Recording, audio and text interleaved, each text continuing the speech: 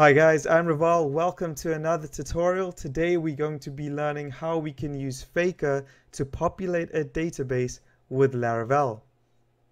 So prerequisite, this video assumes you have a basic understanding of OOP and MVC.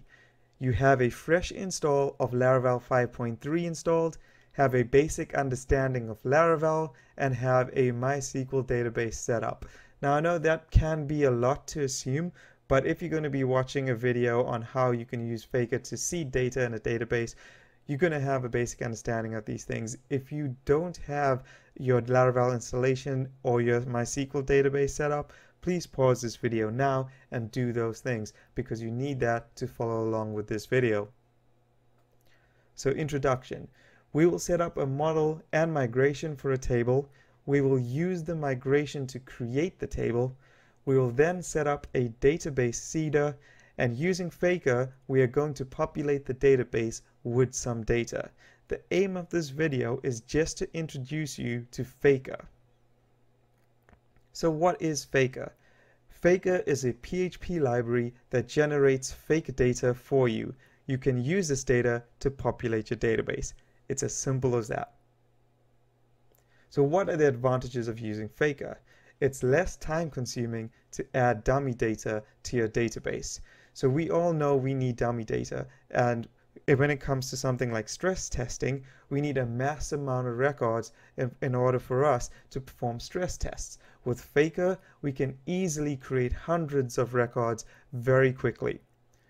When it comes to automated tests, like acceptance tests, so for example, if we need to log into an admin panel, then create a record, filling in a form with dummy data, we can use Faker to generate this dummy data for us instead of hard coding it into our tests. Also, when building your projects, obviously we need to develop stuff like pagination, maybe the front end for blog posts. We can use dummy, uh, we can use Faker to create the dummy data for the pagination and blog posts. So it makes it very easy for us to develop and test our site. Okay guys, so let's take a look at how we can use Faker to populate a database. So the first thing we're going to do is set up our model and our migration. And we can do that by just going php artisan make model article and then just do dash m so it creates the migration as well. So let that run. So as you can see, in our app folder, we now have an article model. And in our database migrations, we should have create articles table. So what we're going to do here is we're going to say table and we're going to say let's have a title for our article. Sorry, it should be a string because our title is going to be here and our title is going to be a string. Table again and this time we're going to say content uh, we're going to say text so we can have text for our content of our article okay so we're going to have id title content and our timestamps which in laravel as you know is created at and updated at and we're just going to keep it simple for now and that's all we're going to include in our articles table migration so let's just do php artisan migrate and migration table created successfully. Great. So it's created our users table, password, resets, and articles table. The first two is just from our standard Laravel installation, so you can ignore that for this tutorial. And all you need to focus on is that. So it's created articles table. That's great. If we go to our local host here, or well, our PHP myadmin, and we'll see we have our articles table, which is excellent. So now let's try and populate that articles table with some data. And what we're going to do is we're going to use seeders and we're going to use Laravel seeders. So what we're going to do is PHP artisan make and we're going to call that articles table seeder. Okay, so it says seeder created successfully. You can find that here. So articles table seeder. So that's great. So what we're going to do is we are going to use Faker. So let's find Faker and its factory. I'm going to use it as Faker.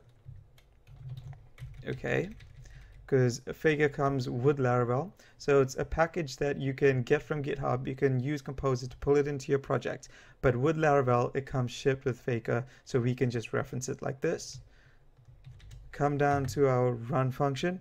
And what we can do is we can say faker equals faker create. And we're going to reference our model app article. That should be fine for now. Okay, so we have our faker object.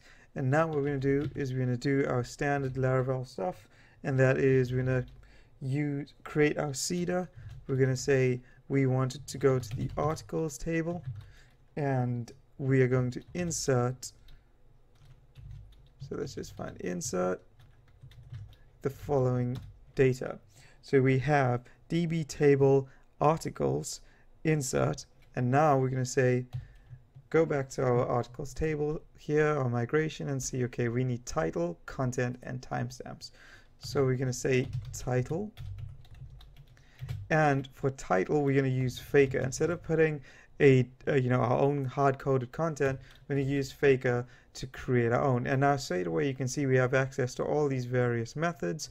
And um, we can use name, we can use address, but in this case, we're just going to use sentence. And you can see we can pass it the number of words, but we're just going to have one simple sentence for our title. For the content of our article, we're going to use Faker once again to generate some dummy content. And you probably can guess it, we're going to use paragraphs. And we can define the amount of paragraphs, and that is five. Actually, I think we can just do sentence like that. And we're just going to do five paragraphs. Now the thing is, our content field in our DB is actually a text field, as we we um, set it here in our migration to be text. With Faker, when you do paragraphs, it actually puts it into an array. So what we're just going to do here is implode that. So it becomes just one massive chunk of text. And we're going to need our timestamp. So we're going to use updated at and for this, we're going to use something called carbon, which comes again with Laravel. I'm just going to say carbon now. And we're going to say uh, created at. And again, we're going to use carbon. And we're just going to say now. Okay, I like to keep these like that. So created at, updated at. Cool. So now we got our seeder. It's going to run. So let's do PHP artisan db seed and we're going to add articles table seeder. So that should run. And I wish uh, uh, Laravel could just say, you know, seeder run successfully. But anyway, let's go to our PHP myadmin, go to Laravel tutorials, articles, and there you go, we've inserted some dummy data using Faker. Now you can say, okay, yeah, we still have to do that 100 times. Well, no, you don't. All we have to do is just put this within a for loop. So let's run our for loop here. And we can say 1 and we can go